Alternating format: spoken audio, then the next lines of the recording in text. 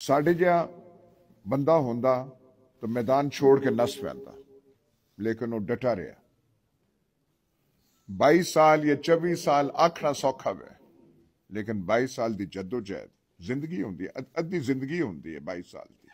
ਔਰ ਉਹ ਲੱਗਾ ਰਿਹਾ। ਲੇਕਿਨ ਉਸ ਦਾ ਨਤੀਜਾ ਇਹ ਹੋਇਆ ਕਿ ਜਿਸ ਤਰੀਕੇ ਨਾਲ ਉਹ ਪੈਗਾਮ ਆਪਣਾ ਫੈਲਾ ਰਿਹਾ ਹੈ ਅੱਜ ਤੁਸੀਂ ਵੇਖ ਸਕਦੇ ਹੋ ਕਿ ਦਿਲ ਦਿਲ ਵਿੱਚ हर चेहरे विच, हर जहन वो पैगाम रस बस गया कितनी कोशिश की गई इस जमात को बर्बाद करने की पिछले दो साल। हर हरबा इस्तेमाल किया गया कि इस जदन की हकूमत थी गई कि यह जमात मर बन जाए इसका कोई ना लैण आला ना हो बंद गिरफ़्तार किया गया, परचे कायम किए गए। ਇਸ ਪਾਰਟੀ ਦੀ ਜ਼ਨਾਨੀਆਂ ਨਾ ਬਖਸ਼ਿਆ ਗਿਆ ਇੱਕ ਇੱਕ ਮੁਕਦਮਾ ਜ਼ਮਾਨਤ ਹੁੰਦੀ ਹੈ ਦੂਆ ਤਰੀਆ ਦਸਵਾਂ ਅਠਵਾਂ ਬਾਰਵਾਂ ਰਿਕਾਰਡ ਕਾਇਮ ਹੋ ਗਿਆ ਲੇਕਿਨ ਪਾਰਟੀ ਟੁੱਟੀ ਨਹੀਂ ਚੇਅਰਮੈਨ ਉਸ ਤੇ ਗਿਰ ਘੇਰਾ ਤੰਗ ਕੀਤਾ ਗਿਆ ਆਖਰਕਾਰ ਜੇਲ੍ਹ ਵਿੱਚ ਭੇਜ ਦਿੱਤਾ ਪਹਿਲੇ ਆਦੇ ਜੇਲ੍ਹ ਇਸ ਕੋਲ ਬਰਦਾਸ਼ਤ ਨਾ ਸੀ ਹੁਣ ਹੈਰਾਨ ਹਨ ਕਿ ਕਿਸ ਤਰੀਕੇ ਨਾਲ ਜੇਲ੍ਹ ਕੱਟੀ ਜਾ ਰਹੀ ਹੈ ਉੱਤੋਂ ਕੋਈ ਆਵਾਜ਼ਾਂ ਨਹੀਂ ਆ ਰਹੀਆਂ ਕਿ ਮੈਨੇ ਬਲੱਡ ਪ੍ਰੈਸ਼ਰ ਵੱਧ ਗਿਆ ਵੈ ਮੈਡੀ ਪਲੇਟਲੇਟਸ ਗਿਰ ਗਈਆਂ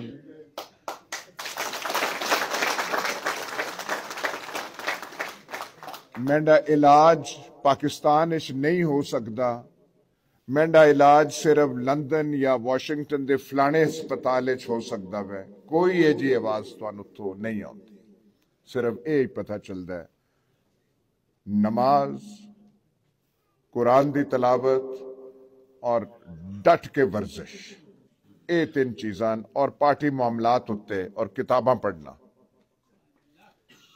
इलेक्शन की तैयारी भी हालांकि सही तरीके नाल वकील भी उन्होंने नहीं मिल सकते थोड़ा जहा टाइम होंगे जबानी कलामी गल होंगी है वकील भुल पैदा वै कि केड़ी हल्के की गल हो रही है लेकिन वो कह रहा है कि पीटीआई का वजूद इस इलेक्शन कोई नहीं होना। हल्किया च इन्होंने को बंदे खड़े नहीं होने। लेकिन पूरे पाकिस्तान पीटीआई के उम्मीदवार मैदान च आए। और अच्छे अच्छे लाहौर वगैरह तुम वेख लो।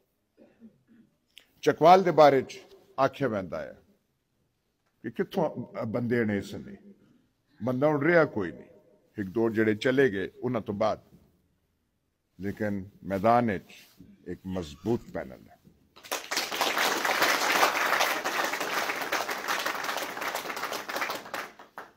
सारी इंतजामी हकूमती आसानियाँ दुई साइड आस्ते पैदा की जा रही हैं। पुलिस वास्ते लगी हुई है, इंतजामिया लगी हुई है, महकमा माल लग्या हुआ है डीपीओ लगा है डीसीओ लगे हुए हैं।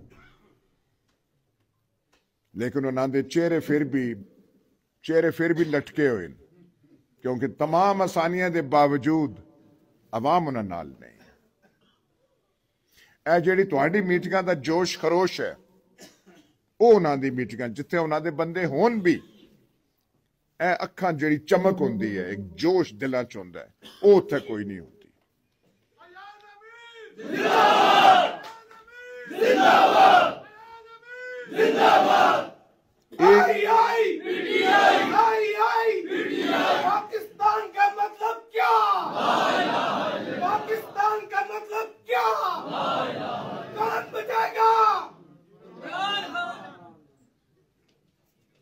बचाएगा कौन पाकिस्तान को? सिर्फ़ इमरान खान ने। इमरान खान इसलिए कि अवाम उसके साथ है। एनर्जी जो है वो अवाम में है। उसने आपको जगाया है। उसने आपके जहनों में एक सोच डाली है। लेकिन गैल्वनाइज वो अंग्रेज़ी का लफ्ज है, वो जो है जिसमें जनून आना वो तो अवाम में आना है। लीडर का काम होता है, लीडर का काम होता है कि अवाम को जगाए अवाम को मुनजम करे। हर एक कोई ऐसा नहीं कर सकता। ये सलाहियत अल्लाह की तरफ़ से आती है, किसी किसी को। कायदे आज़म के वक्त और मुसलमान लीडर बहुत थे, बड़े पढ़े लिखे, आलम फाजल। लेकिन मुसलमानान हिंद मुसलमानान हिंदुस्तान। उन्होंने रिस्पॉन्ड मतलब जवाब जो है गुफ्तगु का, वो कायदे आज़म की बातों को किया। अंग्रेज़ी में बोलते थे, मजमे को खिताब करते थे तो अंग्रेज़ी में करते थे, उर्दू में नहीं। और लोग फिर भी ऐसे देखते थे और कहते थे, जो ये कह रहा है वो सच कह रहा है।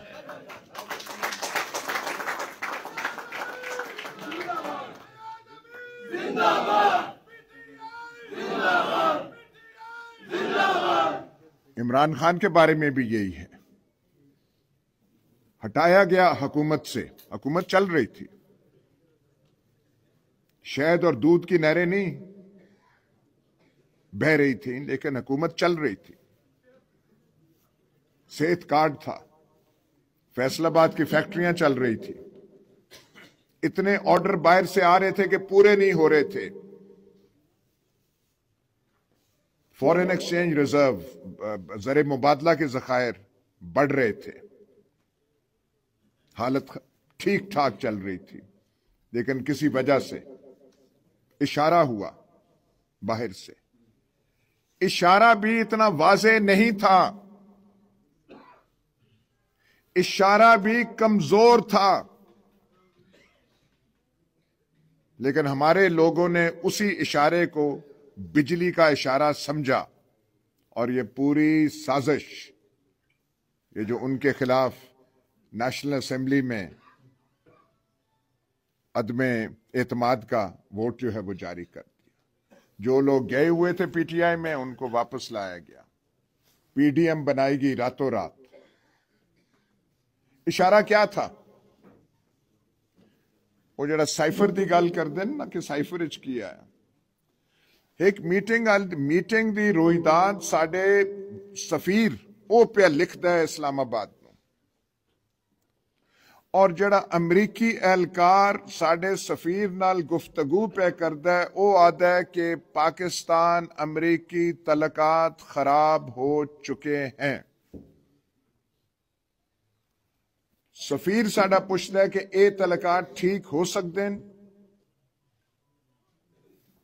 तो अमरीकी एहलकार का जवाब आया कि अगर ये तहरीक अदम एतमाद कामयाब हो जाए तो बेहतरी की गुंजाइश पैदा हो सकती है। इशारा ये था इशारा इतना कमज़ोर यही वाला था।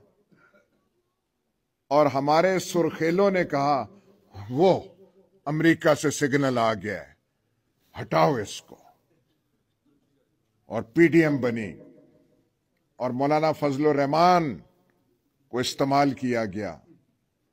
और वो जो बाप पार्टी है बलूचिस्तान की, जो इशारों पे कभी यहाँ जाती थी और कभी यहाँ जाती थी उनको फिर इशारा दिया गया तो वो पीटीआई मुखालिफ हो गई और इमरान खान की हुकूमत को निकाल दिया गया। तो फिर मामला संभाल लेते हैं ना। मामलात पे काबू, मज़बूत हाथों से काबू करते। पर ये इतने नालायक साबित हुए, इन्होंने बेड़ा गर्क कर दिया हर चीज़ का। वो सोलह माह तो तुम वेख चुके हो ना अठारह माह जी शबाज शरीफ की हकूमत। महँगाई नाल असी वाकफ हाउस। लेकिन ए जड़ी, शबाज शरीफ आली और इसाक डार आली महँगाई है। ये असा पहले कदी नहीं तक। और खराब करते